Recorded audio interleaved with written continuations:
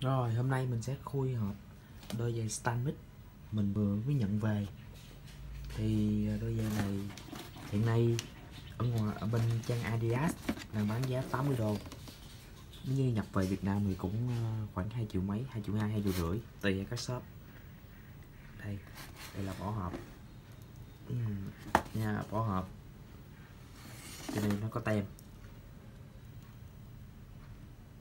Mã số là M02325 thì cái này là màu đen.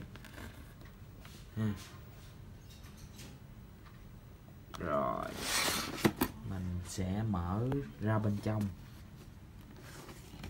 Thì đây là cái lớp giấy quấn ngoài xin ờ, lỗi ban đầu là mình đã mở sẵn trước rồi. Mình đã check hàng trước. Ha. Đây. đây là đôi giày của chúng ta màu đen.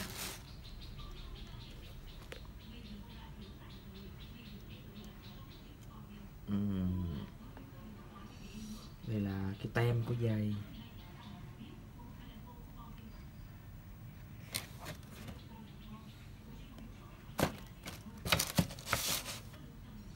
rồi, mở luôn chiếc kia. Chiếc này thì không có tem đây đây là đôi giày của chúng ta.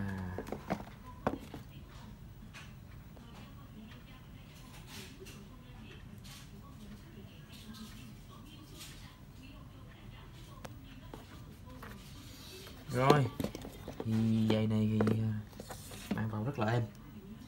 Để mình mang thử cho các bạn coi.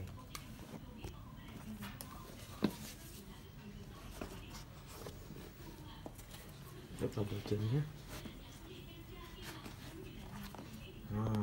Rồi rất là vừa chừng